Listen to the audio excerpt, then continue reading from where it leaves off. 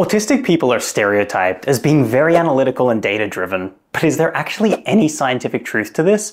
Do autistic people really uniquely make more deliberate decisions and rely less on intuition? Today we're looking at the scientific research that answers this exact question, as well as talking about what it would mean if this were true, and how it could explain the unique strengths and challenges that we know are associated with autism. As a psychologist, one of the common experiences that many of my autistic clients report to me is that when it comes to decision making, they often spend a long time carefully analyzing options and organizing their thoughts before finally locking in a choice. And they frequently express both confusion at how fast other people seem to make decisions, as well as frustration at the fact that other people don't seem to engage in this deliberate decision-making process. Or at the very least, it seems to them and it makes them feel frustrated that other people can't seem to explain the reasons for why they've made the decisions that they've made. So these anecdotes from my clients seem to line up with the stereotype of autistic people being very analytical decision makers. But to examine this scientifically,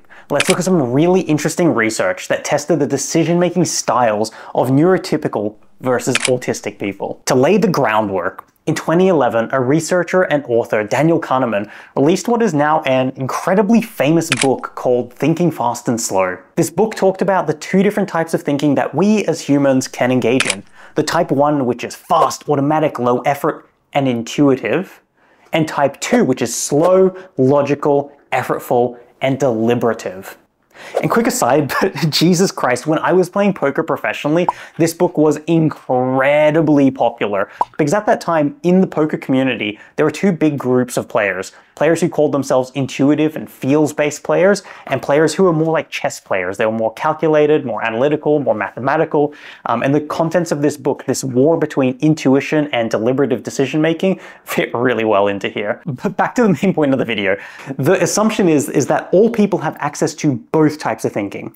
And by default, people will almost always approach making a decision using type 1, the fast and intuitive style of thinking, because it's low energy and only in situations where people are very unfamiliar with a problem or where they force themselves to pause and spend more time and energy on a problem will they then deliberately engage type 2, the slow and deliberative style of thinking. But when it comes to autistic people, maybe what is the default for the general population, the use of type 1 intuitive thinking, is actually the opposite for them. Early research on decision making for people on the autism spectrum found three key areas where they struggled to make decisions. Number one were decision making situations where they had to talk to other people.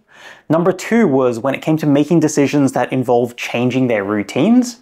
And number three were decisions that had to be made within a short time frame. While it was completely expected that talking to other people and changing routines would be difficult areas for decision making, since these are just core challenges related to autism, the difficulties with quick decision making was a much more unique finding. And this finding led to a hypothesis. If most people had access to both intuitive and deliberative decision making, but tended to mostly use intuition, what if autistic people relied much more heavily on deliberative, logical decision making and had a greatly reduced tendency of using intuitive rapid thinking? If this hypothesis were true, it could help explain many of the challenges associated with autism, particularly the verbal and non-verbal social difficulties.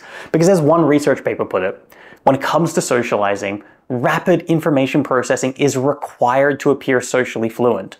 You don't have time in a social setting to sit there and deliberate and analyze all the data, all the microexpressions, all the tonal inflections, all the body movements. If you tried, you either wouldn't be able to keep up with the regular speed of a conversation, certainly not in groups, or at the very least, in order to keep up accurately, your brain would have to be firing at an incredibly high level the entire time, burning a ton of energy, which would just result in feeling drained and overwhelmed and burned out every time you socialize. This hypothesis about decision-making preference could also explain the strong desire for routine and sameness in autism. Because if autistic minds needed to constantly deliberate over large amounts of information to make decisions, if less things were changing, there would be less new information to need to be processed because it would already be accounted for, and therefore their decision making and their life would be easier, which would make their overall stress levels just a lot lower. Alright, that's a neat hypothesis. But what does the actual scientific research say? In this 2016 experiment, researchers conducted two separate tests to examine the relationship between decision making and autism. But just before we explore the experiments, let's mention their limitations so that you can understand the degree of skepticism with which to view these results. Like many studies, all of the participants were either attending or intending to attend university, which makes them not a super representative sample for the entire autistic population. Additionally, there was just a lack of demographic details for the participants. Um, things like socioeconomic status were not included, and this just limits the generalizability of the data and the findings. And while the sample sizes weren't tiny, there were over 90 participants in the first test and over 30 in the second, Obviously, larger sample sizes would be very nice. So in the first test, researchers focused on a group of people who weren't diagnosed with autism spectrum disorder, but who had a range of autistic characteristics. Some people having a lot, some people having very few. And what they wanted to test was if people who had more autistic characteristics would they also be more deliberative and less intuitive decision makers? So they recruited 95 research participants who completed questionnaires, and these questionnaires measured their level of autistic characteristics, and it also measured the person's preferences for decision making, whether they preferred using intuitive or deliberative decision making in different contexts. The results revealed that participants with a higher level of autistic characteristics had a significant preference for high deliberation and low intuition. And the opposite was also true. With the people who had very few amounts of autistic traits, they were much more intuitive and much less deliberate decision makers. But none of these participants were formally diagnosed with autism, and this research only compared levels of autistic characteristics with decision-making preference. It didn't test decision-making itself, and it wasn't done on people who were actually diagnosed with autism. But that's where the second experiment comes in. In the second experiment, researchers directly compared decision-making styles in people diagnosed with autism spectrum disorder with decision making in neurotypical individuals. This time they used a questionnaire that measured preference for decision making, just like in the first test, but this time, they added a behavioral task that objectively measured whether people were making intuitive or deliberate decisions. The task used to measure deliberate versus intuitive decision making is actually really, really cool. And it's called the cognitive reflection task. And what this task requires participants to do is they have to answer three questions that have been designed to elicit an intuitive response, which would actually be incorrect. Or if the participant paused and engaged deliberative decision making, they would actually get the correct answer. For example, participants were asked, a bat and a ball cost $1.10 in total. The bat costs $1 more than the ball. How much does the ball cost? The rapid intuitive response is 10 cents, which is wrong.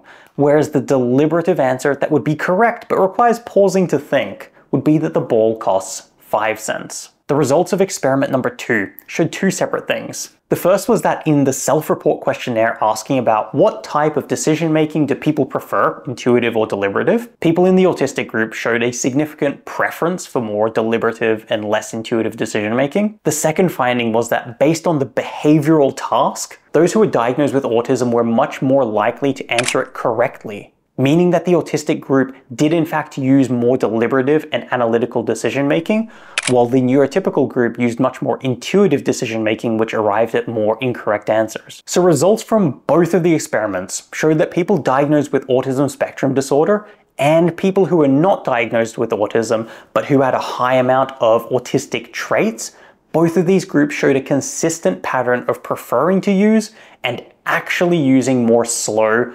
deliberative type 2 decision making, and they showed a consistent preference away from using intuitive type 1 decision making. This preference for deliberative decision making is the opposite of what is found in the general population, and it might stem from a dominance and a unique strength of the autistic mind in engaging in deliberative analytical thinking, or it could be because of a unique weakness or impairment with intuitive processes, or it honestly just could be a combination of both. While the cause isn't certain, the findings do suggest that autistic individuals are likely to perform much better on tasks that require deliberation and logical consistency, things like mathematics. And this also implies that they may struggle in contexts where rapid, intuitive processing processing is advantageous, such as social situations. And really importantly, one other thing that's related to autism is trauma and PTSD. That video is on my channel, check it out. Thanks for watching.